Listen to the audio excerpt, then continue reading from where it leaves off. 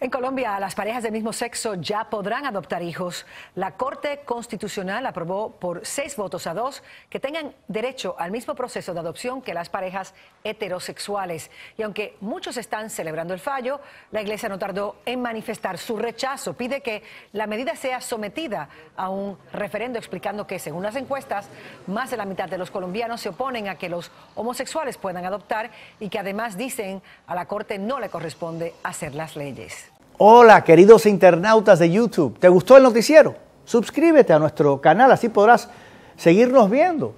Haz clic en este botón de suscribir y no tendrás que ver videos de mala calidad en otros canales nunca más. También puedes entrar a telemundo.com y ver nuestros reportajes. ¿Qué esperas? Suscríbete.